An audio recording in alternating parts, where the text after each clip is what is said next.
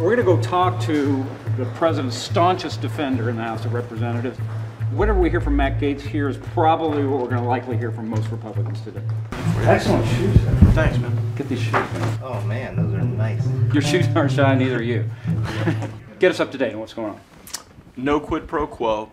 This conversation occurred in the context of two leaders being mutually laudatory. First of all, a quid pro quo doesn't need to be spoken, and the fact that aid was Oh, with. the uns- we're going to impeach the president on an unspoken quid pro quo? We have the president admitting that he asked, and now we have the transcript, asking a foreign leader to investigate a political opponent. Well, what you see is the president of the United States and the president of the Ukraine, I think, fusing their interests in rooting out corruption.